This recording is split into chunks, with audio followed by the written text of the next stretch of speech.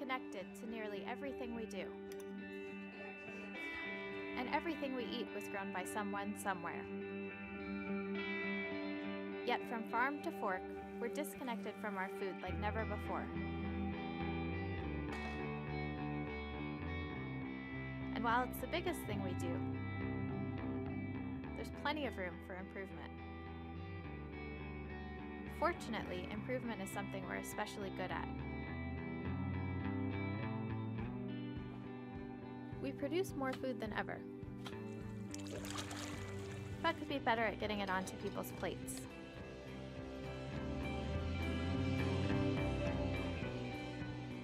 We have choices, but not all of them are equal. It's a big, complex problem with lots of moving parts. And the decisions we make now will determine whether or not we're ready to feed 9 billion people by 2050.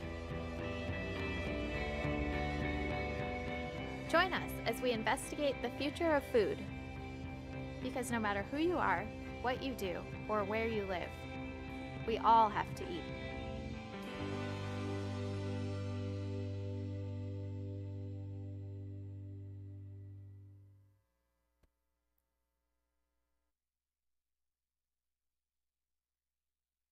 of the Feed the Future Global Forum. Uh, before we get started with our program of the day, I wanted to note some housekeeping things and, and also just to help you with how the agenda will flow today because we actually have an exciting day packed with great speakers and still great time for you to continue the discussions amongst yourself that have proven to be so fruitful over time. Um, at today's lunch, we will plan inter interest group Salon 4. Um, we asked you yesterday and the day before to provide thoughts on small group discussions that we could have to cover items that we haven't gotten to as much during the agenda um, because we wanted to give people time to do those amongst themselves. Um, we will remind you of this later, but so far we have five breakout sessions scheduled for the lunch. Um, the topics are um, how can we work most effectively with and through regional organizations? That's number one. The second is on resilience programming. How best do we link Feed the Future activities with humanitarian and disaster preparedness? The third will be on scaling. Uh, we'd like people to have a discussion on their experiences in developing and implementing scaling plans. The fourth will be about partnership, specifically how to increase partnership among US government agencies at the local level in the field. It's something we wrangle with in Washington quite a bit, so it would be great to, I'm glad to hear that there's a desire to have more of that conversation at the field level. And finally, the last one will be about technology and education. How can we best educate our stakeholders about technology, specifically uh, biotech? So that, that's a topic that has come up a few times today, so we want to make sure you have time for that. Um, next, for senior government officials here from Feed the Future countries around the world, I would really like and find your feedback and input on our experiences with Feed, on your experience with Feed the Future valuable. So please join me and other leaders of Feed the Future in an informal discussion at the lunch break in Arlington Salon 5. Um, and we will direct people outside as this is coming up. The last two days have been really extraordinary. And the first day, we had a great retrospective of kind of where we've been, what started Feed the Future, and the challenges that lay ahead. And yesterday, we moved to this table, uh, this round table format that we are continuing today um, to really allow us to have more time to interact with each other um, and to talk about what's working, what we see is working, and, and how we can do that in other places. Um, and today, we'll really focus on what's next. How do we take this forward? How do we scale the activities that we see that are working? How do we bring in more youth and next generation leaders? What is the path that we're charting forward for Feed the Future? Um, one of the things, because I mentioned this roundtable format, I wanted to give you a minute to stop now and to introduce yourselves to each other at your table. So I will break for a minute and please just quick introductions at your tables. I'd like, before we move into our first guest speaker, because so much of this is about learning and what we will take from this going forward, I'd like to take a moment to allow some of our colleagues to provide their perspectives on yesterday's conversation. Um, for the first person I'd like to hear from is Fina Kaisanabo from our Rwanda mission. Fina, can you please tell us what your key takeaways from our time together so far at the forum have been, particularly from yesterday? Fina's over there.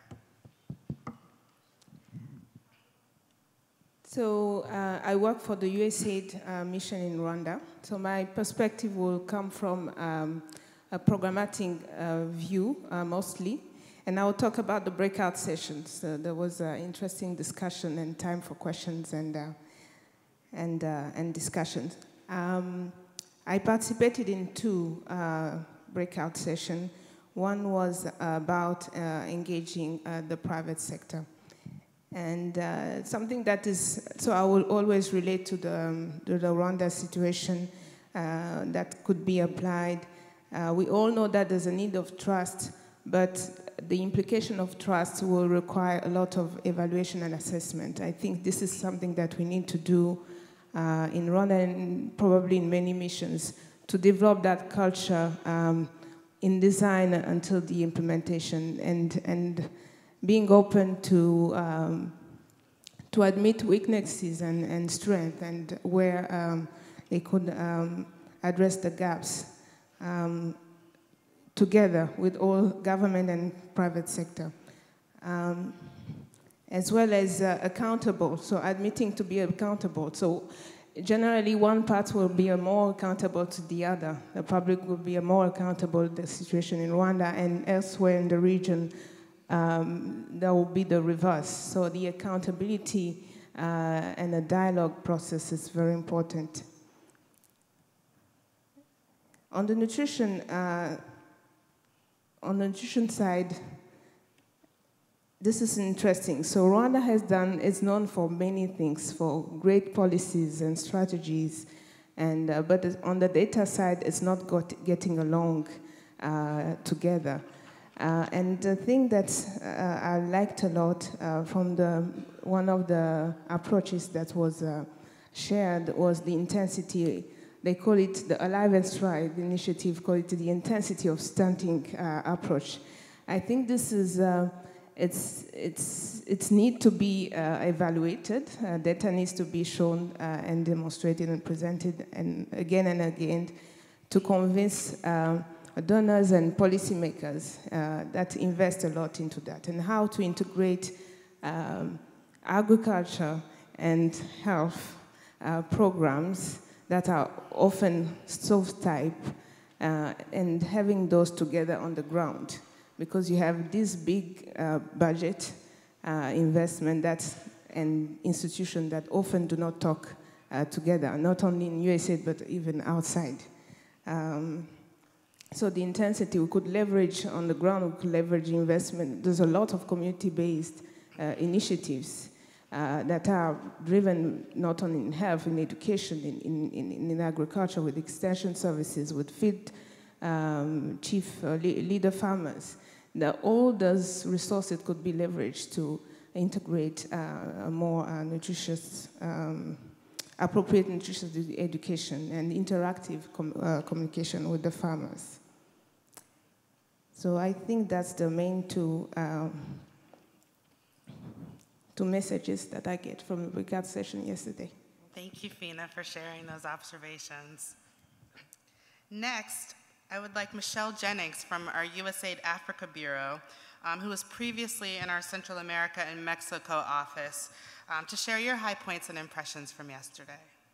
Well, thank you very much, and good morning, everybody. It was very exciting and full of a lot of thoughtful ideas yesterday, and it's a great opportunity to be here to learn, listen, get to know everybody. And there was a, about two, two or three themes that I'd like to highlight from yesterday, and I was certainly motivated by Reverend Beckmann's kind of call to service and this exodus from hunger. And I think it's probably something that everybody in here can empathize and, and get on board with. But I think the, the message of leadership and advocacy really resonated with me and how important it is to um, instill and take this leadership role in your country at all different levels, at a country level, within the USG, maybe within your own office, et cetera, and advocacy. And, and what really was powerful was this partnerships and the power of partnerships that Oxfam talked about and how they moved Coca-Cola or the multilaterals into really having this kind of transformational impact And that is working within an existing market system, so I think we need to tap into that a little bit more. Um, and then also, as we talked about the technical areas, nutrition, value chains, um, partnerships, there was a real um, call for this systems approach and the systemic, systemic change versus the puffs of success, which I liked. Um, and I think um, working to adapt within the local context and not necessarily swimming upstream, but sort of going with the current and finding those opportunities and, and looking for interventions within those points of opportunity um, was interesting and important for us to note. And then lastly, um, the farmer driven and farmer centered approach, which it, and derive solutions from the farmer and the community. And I think we talk a lot about that, and I don't think anybody would deny that that's important. And somehow we have to rationalize that with, within our imperatives and political um, pressures to actually show results. So we need to maybe get more social anthropologists working with us on that analysis so that we truly understand the local context, the community and farmer driven and centered solution. And then somehow rationalize that within our you know imperatives to show impact and that's a real huge challenge.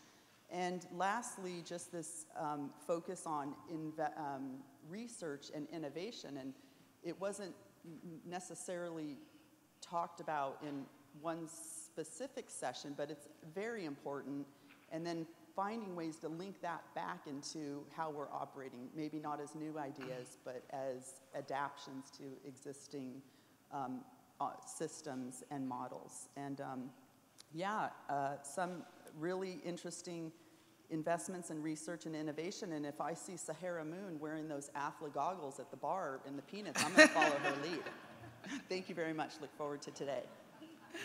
Thank you, Michelle and Fina. We, we greatly appreciate that. And, and we hope that um, later today in your breakout sessions that you will all be able to continue to share your observations from yesterday and, and how we move forward. Today is our chance to look forward to the challenges ahead, to the specific actions we can take to address them, and to the strong leadership, courage, and continued inspiration it will take to achieve Feed the Future's goals for a better future, one of shared progress and prosperity through economic growth driven by agricultural development. It is now my distinct and great ple pleasure and privilege to welcome Dr. Helene Gayle as our keynote speaker for the morning. Dr. Gayle is CEO of CARE USA, one of our extremely valuable implementing and thought partners. This is a post she has held since 2006 after stints with the Bill and Melinda Gates Foundation and numerous agencies of the federal government uh, as a leading public health expert in HIV, TB, and reproductive health. Dr. Gayle's leadership of CARE has made her a deeply supportive friend of Feed the Future and a friend of so many of us today. CARE was on the front lines of our thinking in terms of how to reform our food aid system to get more food to more people and a, more, and a healthier food basket to people. CARE has also been a leading thought partner in gender issues and how to make sure that women have equitable access to the tools and the training that we are providing under Feed the Future. We are all inspired by Dr. Gayle and her leadership of CARE um, and, and we look forward to great partnership in the future, just as we've had today. Dr. Gayle, please welcome to the Feed the Future Global Forum.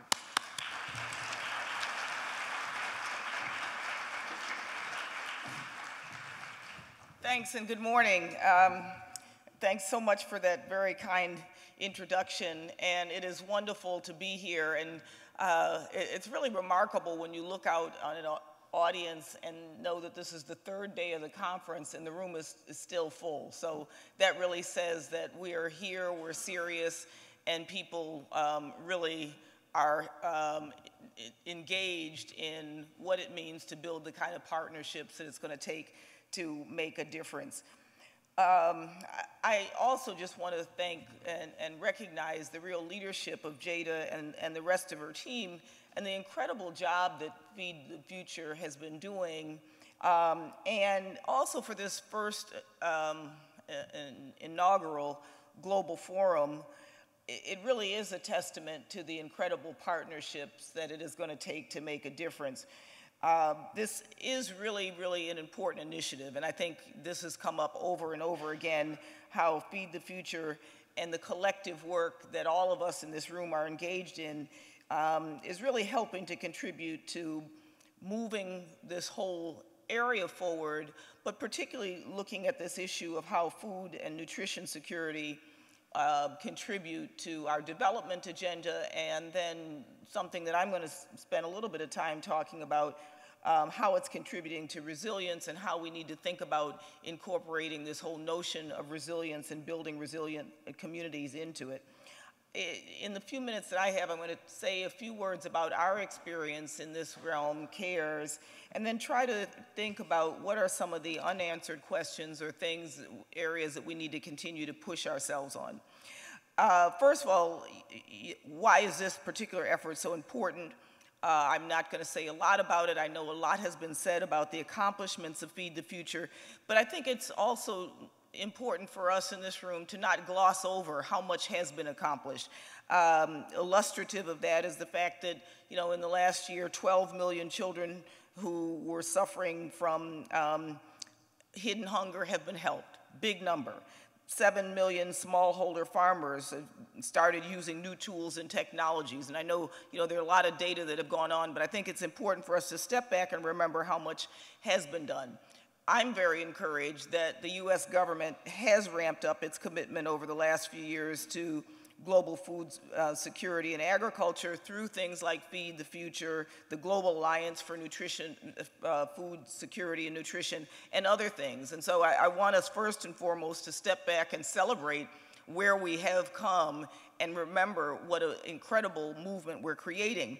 I also, you know, want to say, for me, one of the big things is looking around this room and seeing this audience. This is a very different audience than we might have had 20 years ago when we were talking about this issue.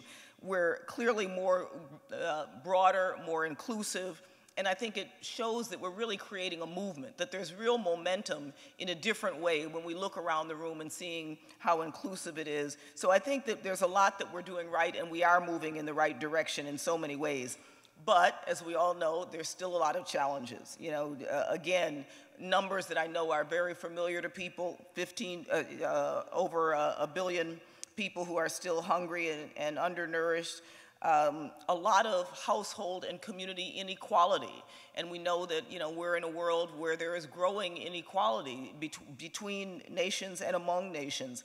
Um, the need that are going to be bigger in the future to nourish 9.6 billion by the year 2050 uh, and the big issue of climate change and the, and the increasing shocks, whether it's flood or drought, that we have to also figure into this picture. So it's a tall order, and to do that and to address that, we need know that we need to do everything to make sure that we're equal to that task. And I think that it means more and more that we need to be thinking about what does it mean to really have a holistic and an integrated approach to tackling poverty and hunger that really leads to building systems and looking at systematic change and not just doing what we've always done, which is to do great programs, great, projects. How do we bring all that together in a way that really is helping us build systems that lead to a different kind of future? I think that means starting with making sure that we're looking at the underlying causes, not just the consequences, so looking at political issues, um, social, economic, environmental, issues like gender inequality, and, and really making sure that we're tackling some of those underlying causes in the way that we, we deal with it.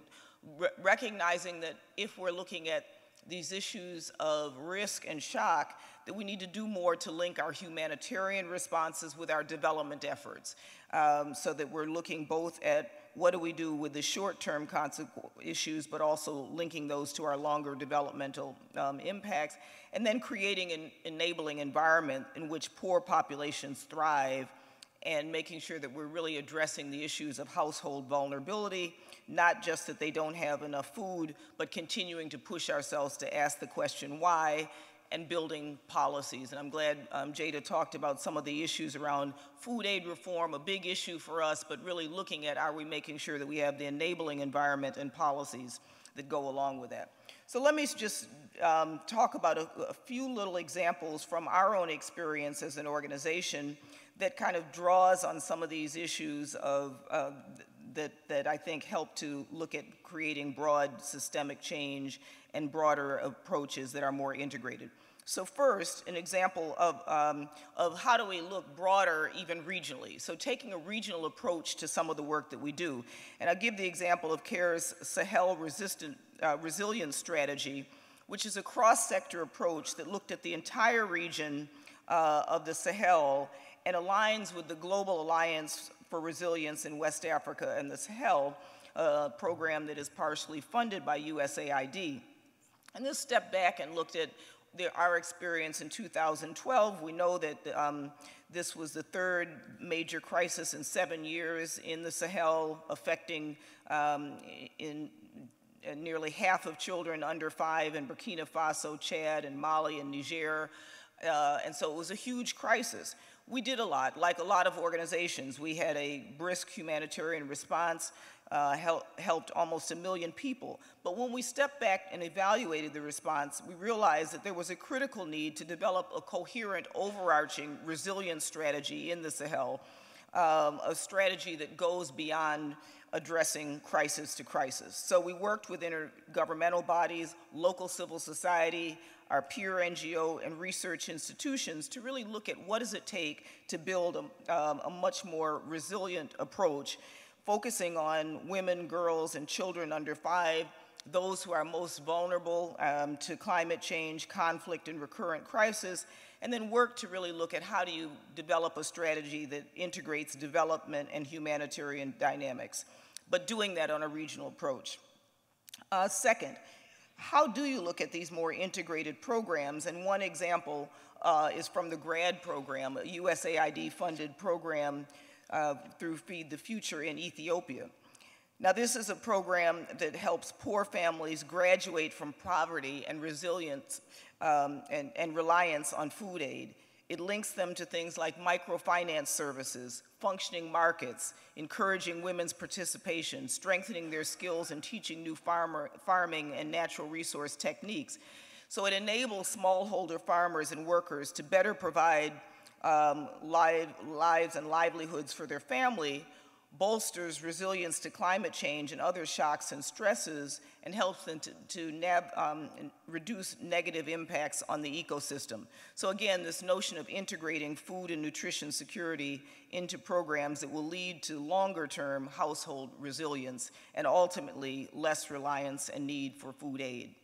Third, partnership uh, between CARE and the World Wildlife um, Fund, our CARE WWF Alliance working hand in hand with a partner whose core expertise is in preserving the environment, complementing our own expertise in the development arena. Uh, two projects with CARE and WWF, one where we're working with coastal households in East Africa, in Mozambique, to secure healthy marine ecosystems while we're helping fishing communities have a sustainable source of nutrition and income a second in Nepal, and this is one that's uh, also funded by USAID, uh, working with uh, reducing the adverse impact of climate change and threats to biodiversity in Nepal among poor communities whose livelihoods are linked to timber growing. So again, looking at how do we preserve the ecosystem at the same time that we're looking at how to make sure that people have sustainable livelihoods. And it's based on the simple fact that food and nutrition security cannot exist without healthy ecosystems. Fourth, uh, just to, um, to mention briefly, academic partnerships, and I know that um, Kathy Woteki is going to talk a lot more about research, but I think it's important to remember that for those of us who are on the implementing side, making sure that we're having strong research partnerships that can be, help us to really look at um, what we're learning and incorporate and embed research from the very beginning. So CARE has a partnership with Cornell, bringing the strengths and opportunities of these two organizations together to help develop more innovations in, in our solutions through cutting edge research and practice which can be replicated and hopefully uh, scaled up for longer term sustainability. Uh, finally, our work with the private sector and private sector partnerships. I think this has been talked about a lot throughout this forum, but this is another area where we believe that long-term partnerships with companies in which shared values inform shared vision of a future for poor communities with a particular focus on uh, women and women smallholder farmers really has a lot of potential for um, shifting the way that we do business. So with agriculture, food, and beverage companies, we've found a lot of success working together to help smallholder farmers engage in the global marketplace to meet global demands. These partnerships help to bridge this gap between the demand for certain crops and providing farmers with access to market. So a few examples. Uh, in Madagascar, we're working with General Mills and Haagen-Dazs. Madagascar is the, the largest um, uh, supplier of, of, vanilla around the world, but we're working to make sure that smallholder farmers are incorporated into the global supply chain um, uh, with, with the needs for sourcing vanilla.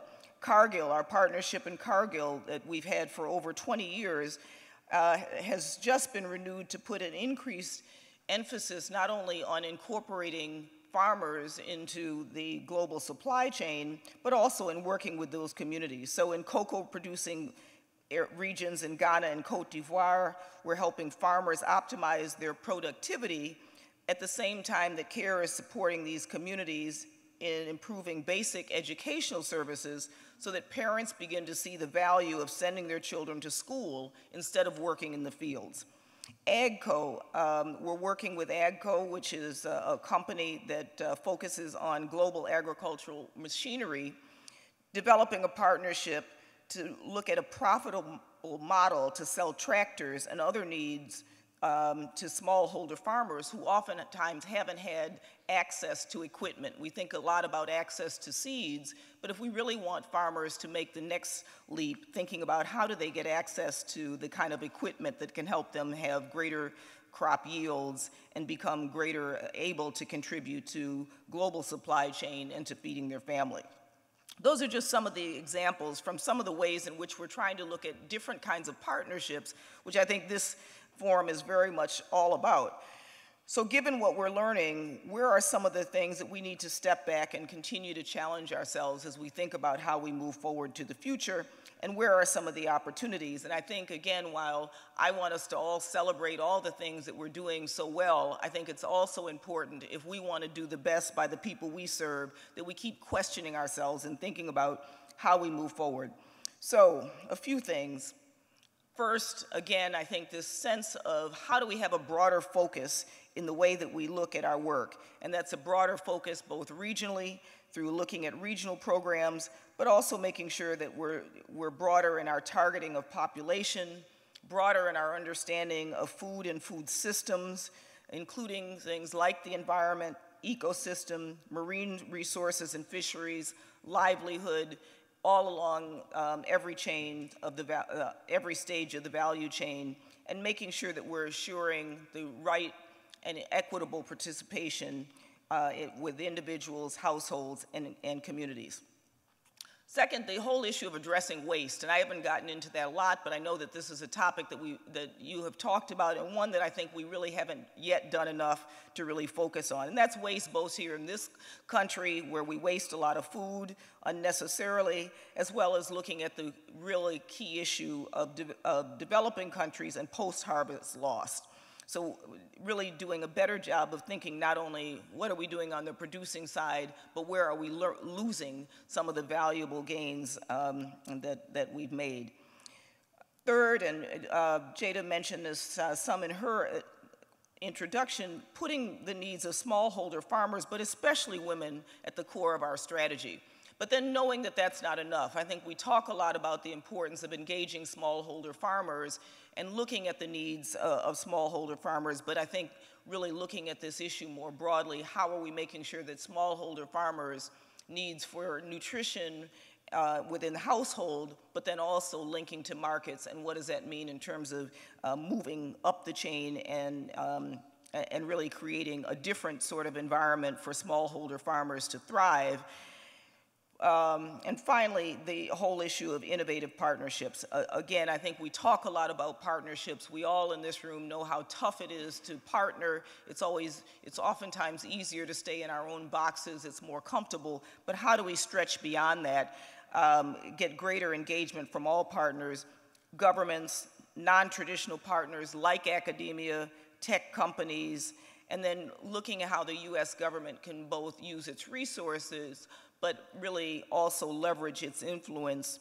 to encourage other donor nations, um, other donor organizations, and also to continue to encourage greater focus on this issue and investment from host government, um, uh, from host governments. So let me just uh, wrap up and say in closing, I really do believe we are headed in the right direction. Um, but we still have a long way to go if we're going to really do the best by the people we serve and by our goal of making this more, a more just and equitable world. I think ultimately we're all here because we're working towards a common goal, and I think that should encourage us, but it should also humble us. Everyone here and our local partners and staff on the ground bring so, so much to the table, knowledge, expertise, and ideas that all add value to an effort that can only continue to accelerate if we adapt and do whatever is necessary, whatever it takes to make sure that we're doing the most for the most people in the most effective and sustainable way. So finally, just close with a quote. When I gave food to the poor, they called me a saint.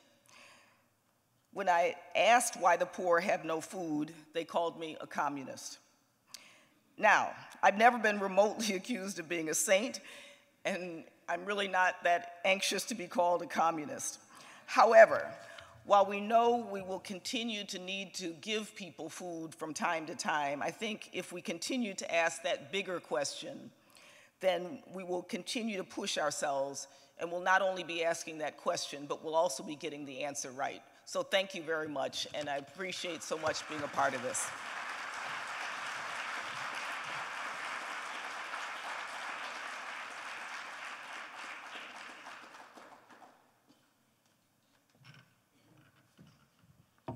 you, Dr. Gayle, for those inspiring words. My name is Julie Howard. I'm the chief scientist here in the Bureau for Food Security and senior advisor to Administrator Shah for agricultural research, extension, and education. And, and thanks, Dr. Gayle, for kicking us off in, in such a wonderful way. You know, I think sort of laying out the, the full breadth of, of challenges and opportunities and then uh, closing us off with that, with that inspiring quote. I think, you know, long before I came into USAID, I, I valued CARE's partnership both in the policy space and in the field. Uh, that remains very important for us. So thank you for, for challenging us, and I think, you know, committing to be with us every step of the way as we go forward. Um, our next speaker, um, I'm happy to introduce. I'm going to say a few words before she comes up here, uh, but she's going to continue, sort of, I, I, know, challenging us for the future um, on what our research opportunities uh, are. But I wanted to say, um, reflect back on, on 2010, 2009, uh, L'Aquila, uh, the, the initiation of Feed the Future.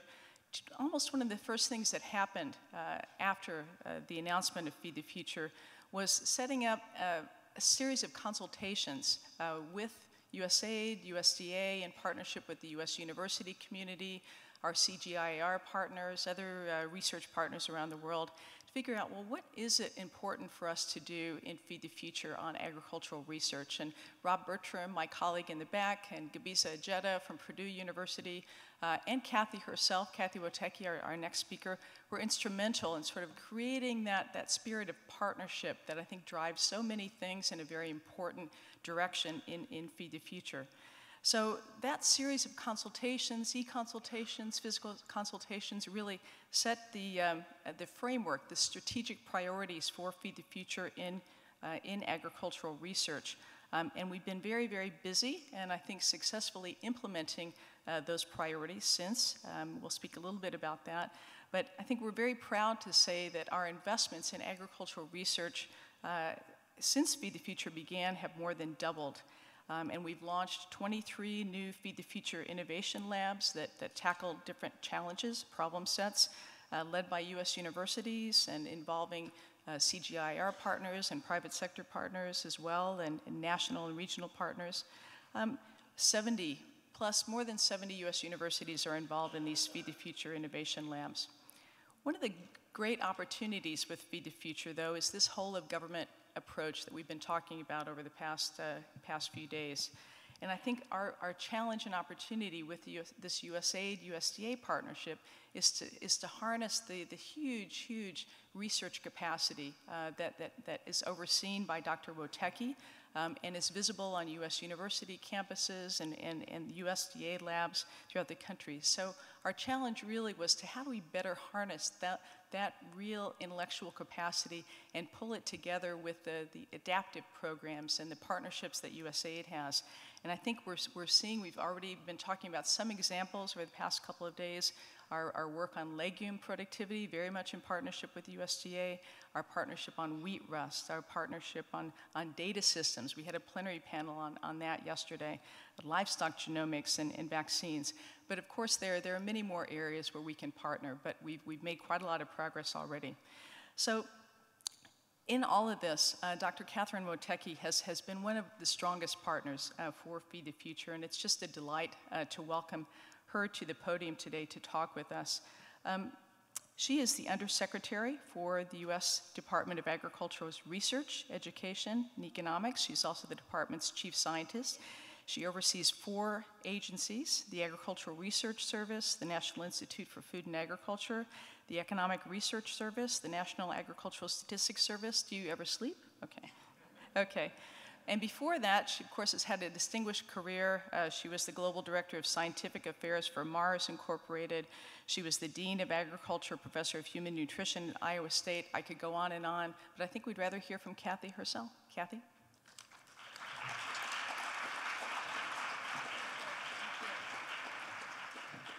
Well, thank you very much, Julie, and good morning, everyone. It's a real delight for me to be part of your program. Uh, and as Julie indicated, we at USDA have been a partner with Feed the Future from the very beginning. Uh, we've been really pleased to be included at the early planning stages.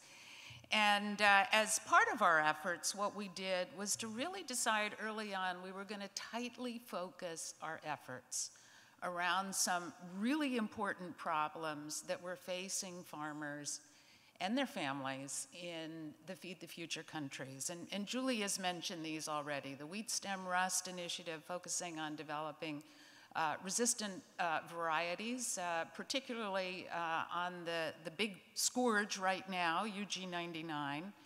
Uh, for improving nutrition, to focus on legumes. And our efforts are to develop locally adapted, culturally appropriate leg leguminous crops that are going to improve the protein content of, of diets. On food safety, uh, we focused around reducing aflatoxin, particularly in maize, and, and have a product that's actually out and, and being implemented that can reduce the uh, colonization with the fungus that, that produces uh, aflatoxin. And then on the animal agriculture side, really tightly focusing on, on vaccine development, and our number one candidate is uh, East Coast fever. In addition, um, we have an enormous amount of capability in statistics and in economic analysis that, uh, in partnership with Feed the Future countries, is providing technical assistance in evaluating the agricultural statistics systems in Feed the Future countries with an eye towards uh, improving those capacities because we're not going to be able to know how well we're doing if we not don't have good reliable data. So I wanted to focus my efforts today on talking with you just very briefly about research for, for the future. And when I think about agricultural research, I think about scouts. Every farmer scouts his or her field. They look for emerging pests, is the crop wilted, maybe some evidence of, of disease. And our research programs are like that, particularly in Feed the Future, really tightly focused on what are the problems in uh, Feed the Future countries that we've identified. But scouts also are a part of, very important part of exploration. Uh, going out into unknown territory trying to uh, figure out the, the lay of the land and uh, to scout any problems that, that might be on the horizon. And our agricultural science uh, fits both of those models. Uh, so the question that I wanted to talk with you today is what we're doing to link our domestic research agenda with the Feed the Future objectives and also, how can we be working much more long term with the important countries that are investing in agricultural science to harness those new information and their skills and knowledge uh, to benefit people around the world? We have a long history uh, at USDA of bilateral and, and multilateral uh, engagement in agricultural research. And certainly we continue to do those activities uh, in addition to our tight focus on Feed the Future. Let's see, can I have the next slide, please? So what we've done is to uh, focus our research agenda. Uh, again, within USDA, we're primarily domestically focused. But uh, we've focused our research agenda on what we see as the emerging challenges to American agriculture.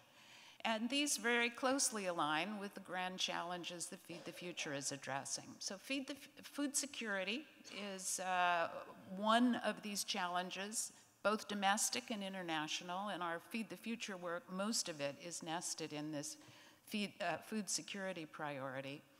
But it's not enough just to produce enough food. Uh, it, that food has to be safe uh, for the population because if it's not safe, it's not going to be health promoting.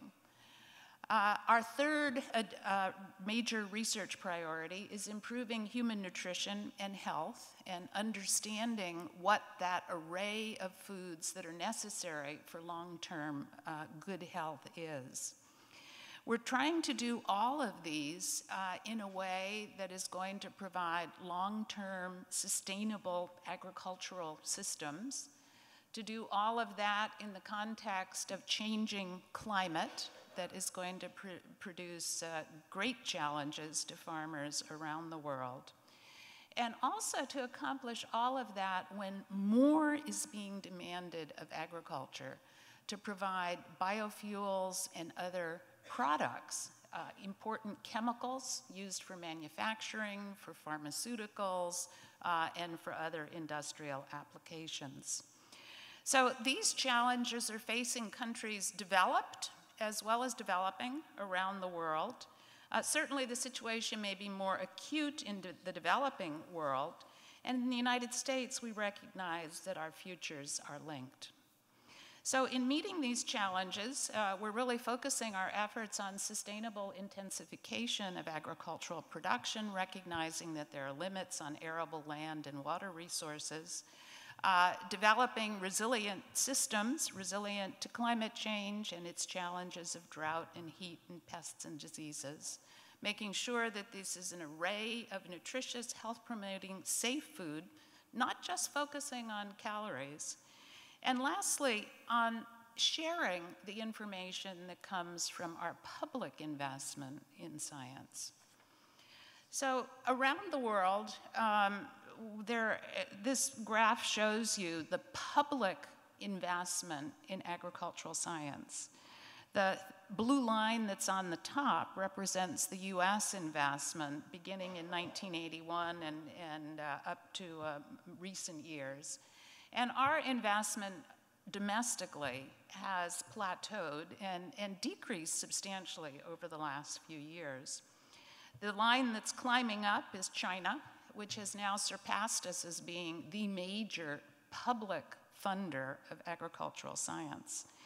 Um, and there are a number of countries like India and Brazil that have been consistently over time increasing at a slow pace their research investment. Now, I'm focusing on the public investment because the public investment is so important for fundamental science. You know, moving forward the frontiers of what we know about agricultural systems at a very fundamental level. That fundamental understanding is really important for the future. So that public investment is enormously important for the scout, the exploration role that I talked about.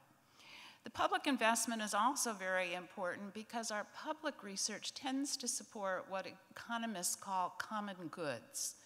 Uh, so our research investment tends to focus from the public sector on that fundamental science as well as on natural resources, human nutrition, aspects of food safety, and also this long-term climate adaptation that is so important. The public investment also tends to focus on what we here in the United States call minor crops that uh, are ones where the private sector will not be getting a large return for an investment. So therefore, the public investment on the development of these new varieties, and most of these are fruits and vegetables here in the US, is very important. Around the world, we know that the investment in science and education is enormously important for increasing agricultural productivity. Economists have, have developed what they call uh, the, uh, an, an, index of total factor productivity, or TFP. Uh, and this is the part of the increase in agricultural production that's attributable to innovation and the adaptation of that innovation. I think of, of, of total factor productivity as an indicator of uh, innovation and know-how. So, you know, you've got innovations and farmers know how to, to apply them. And as you look at this map of the world, the darkest color, the brown, is where total factor productivity growth has been more than 3% a year and the yellow is where it's been less than 1% a year. So this productivity uh, is very important in Feed the Future countries. So lastly, um, the kind of things that we've been working with other countries on around how do we link our domestic research agenda to the very important concerns of improving agricultural productivity around the world are shown here. Uh, the US, along with the G8 countries, has been working on an open data initiative uh, to prioritize agricultural and nutrition data that are the result of that public investment in agricultural science. We held a, a forum here in Washington uh, uh last year, and uh, just this past month have, with the UK, and FAO held uh, a meeting to consider the future of a global open data for agriculture and nutrition initiative. This would provide open access to data sets that are produced uh, by that public investment in agricultural science and would provide access for scientists anywhere in the world to those data sets. Uh, we're also very uh, supportive of the UN-led global strategy to improve agricultural and rural statistics, very active participants in the expert groups that have been convened uh, by FAO in support of that initiative. And again, if we don't have good data on our agricultural production, we're not going to be able to assess how well we're doing in meeting the global challenges. We're also advocates for open access to germplasm that can be used to improve crops or, or and, and, animal uh, agriculture around the world. And also very uh, keenly aware of the importance of improving technology transfer, moving those developments from the lab into the marketplace as soon as we possibly can. And looking to uh, work with other countries in the G8 and the G20 to come up with new ways that we can be supportive of increasing that lab to market transfer. So this is how we're proposing and are working on uh, making the research investment domestically uh, even more supportive of the Feed the Future objectives. So we look forward to the continued partnership uh, and also, I uh, want to uh, commend all of you for the work that you've been doing uh, to feed the future. Thank you.